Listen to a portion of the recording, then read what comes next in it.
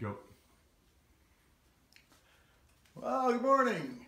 It's um, Saturday, August 19th, 2017.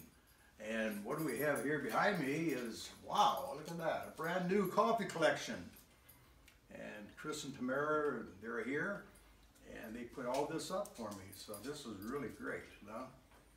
And it's always kind of arranged different ways, you know. I have all the states over here, and that's the majority of the cups. And then we have uh, Disney in this section right through here. And then we have the uh, Caribbean and Europe and Asia. And how many mugs do you have altogether? Uh, right now it's 220.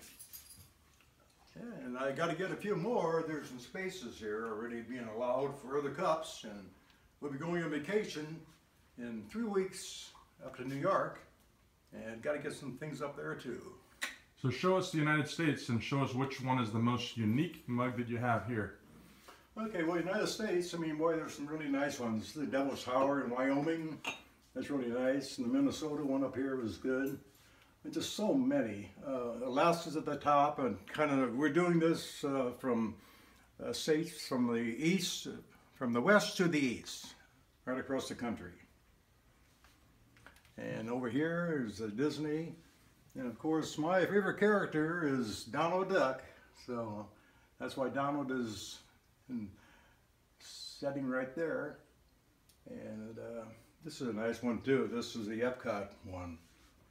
My favorite park at Disney. This is unique. Upside down. And it is a cup.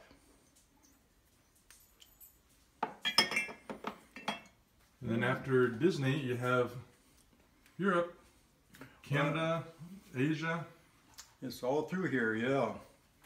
And some of these are really nice too. And I really always have liked this one here. This is very unusual. And these are also for different ships we have been on up here too.